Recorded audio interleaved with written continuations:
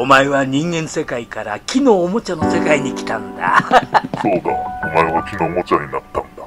俺は木のおもちゃになったんだ。ちょっとあんた、え？静かに閉めてくれない？ここは木のおもちゃの世界よ。正確に言うと人形だけどね。そろそろ歌を歌わせてもらってもいいかな俺たちはそろそろ帰るわさあどうぞ。